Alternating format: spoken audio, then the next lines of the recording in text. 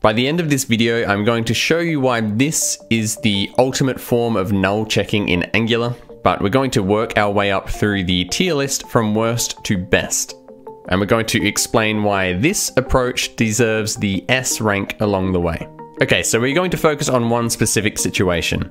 I have a form and I want to take the values from that form and send it to this add method in my checklist service. Except we can clearly see that the TypeScript compiler is not happy about this. So my add method is expecting something with the type add checklist, and this checklist type is expecting a property of title with the type of string. But the title value that we get from the form is actually a string or null.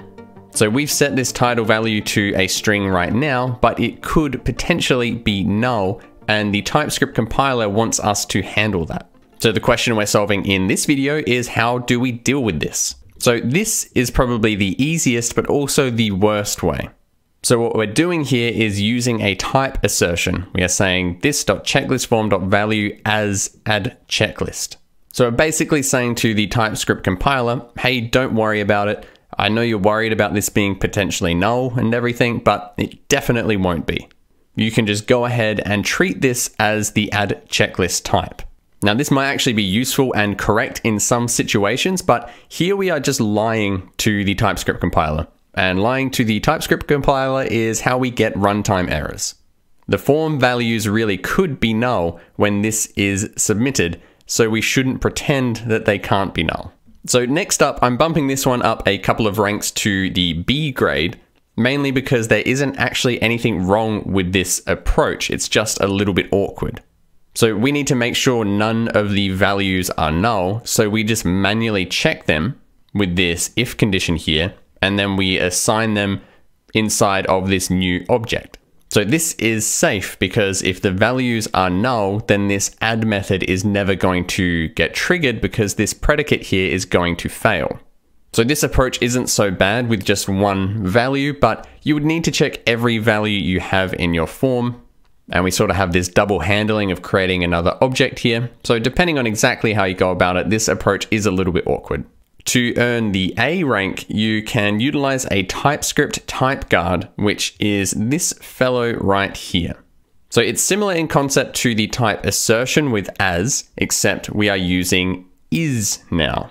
So unlike as, where we just force our data to be a certain type, with a type guard, in order to be granted the type of add checklist, it must first pass a test.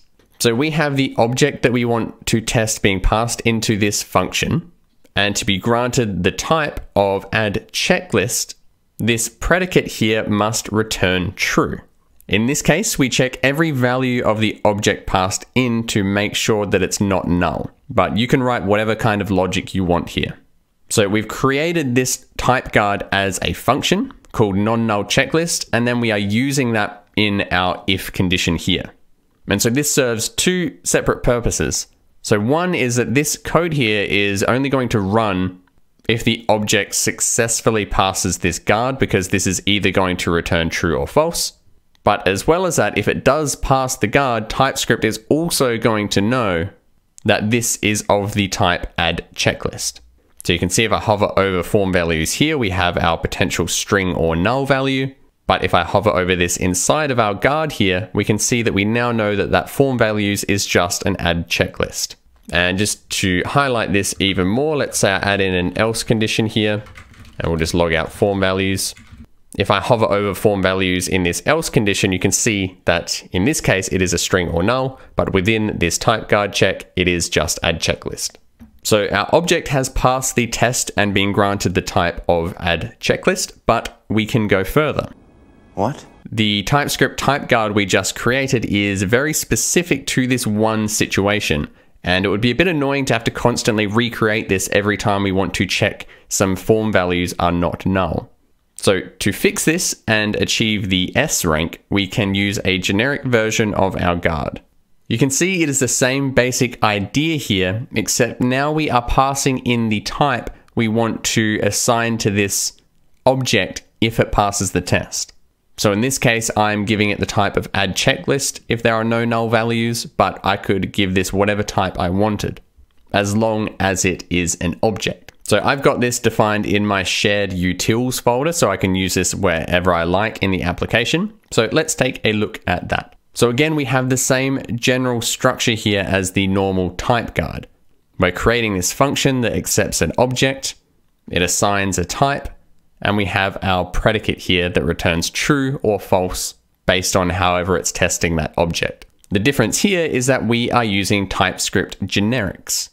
So this allows us to pass in any type as a parameter, which we are calling t, with the constraint that this type that is passed in must be an object. Then our type guard uses is t to assign whatever type we passed in, like add checklist, to the object if it passes this test.